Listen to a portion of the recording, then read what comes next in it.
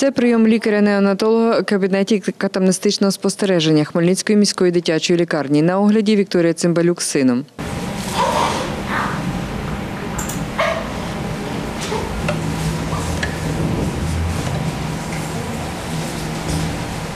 Вікторія Цимбалюк з Дережнянського району. З сином Матвієм каже, другий день перебуває на лікуванні. Вернулися з району за направленням нашого педіатра і дізналися ну, теж недавно, як мали таку проблему е, дитини з жовтяничкою. Ми лише тут другу добу, але ми бачимо хороші результати покращення здоров'я нашого дитятки.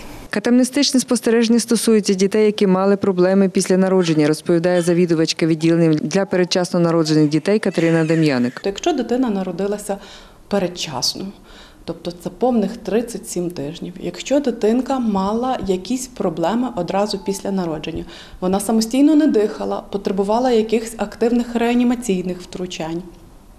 Якщо дитинка потребувала, е, ну скажімо, інтенсивної терапії, агресивного лікування фототерапії, наприклад, таке як зам- замінне переливання крові, не приведи Господь, якісь мала вроджені вади розвитку, потребувала хірургічної корекції, такі діти просто-напросто додому не можуть бути виписані. Катерина Дем'яник додає, таку дитину мають оглядати спеціалісти. Ми цим дітям можемо забезпечити практично все: офтальмологічний скринінг.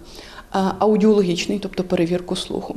В нас є е, лікарі всіх хірургічних спеціальностей: це хірурги, ортопеди, лори, нейрохірург.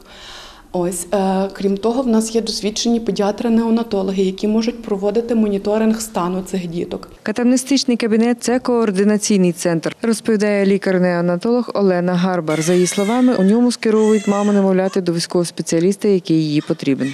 Ми оцінюємо фізичний і психічний розвиток, ми надаємо рекомендації, оцінюємо стан дитини об'єктивно, е, надаємо рекомендації щодо імунізації або харчування, відповідно, все, що дитина потребує, і попереджаємо по можливості всі проблеми, які можуть виникнути. За словами Катерини Дем'яник, аби звернутися до спеціалістів кабінету, на ім'я дитини має бути укладена декларація з лікарем, який видає електронне направлення. Тетяна Ворожцова, Віктор Кривий. Новини на Суспільному. Хмельницький.